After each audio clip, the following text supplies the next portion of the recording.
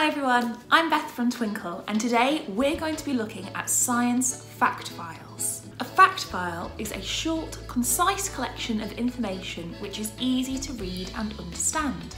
These are really useful in science because they quickly explain everything you need to know about a particular topic.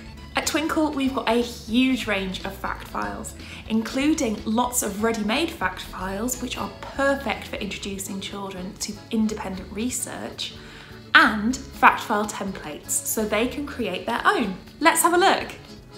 A ready-made science fact file is a brilliant way to introduce your child to a new scientific concept. A new science topic often comes with a lot of new words, so this is a great opportunity to expand your child's vocabulary. Look through the text together and highlight any words that your child is unfamiliar with. Then you can create a glossary of unknown words. You could also challenge them to write sentences including the words.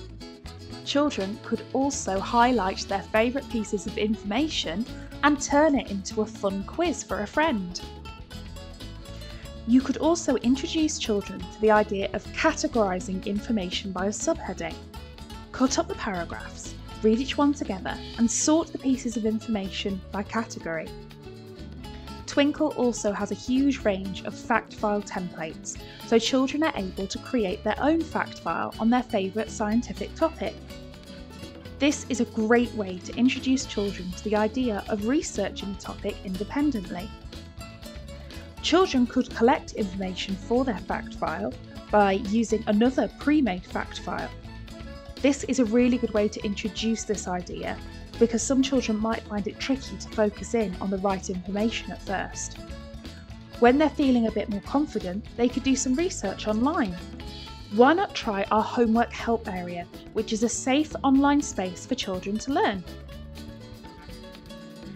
To extend this learning, perhaps your child could present this information in another way. They could even improve their IT skills by having a go at making a PowerPoint presentation. That's it for now. We hope you have a lot of fun with our science fact files. See you next time.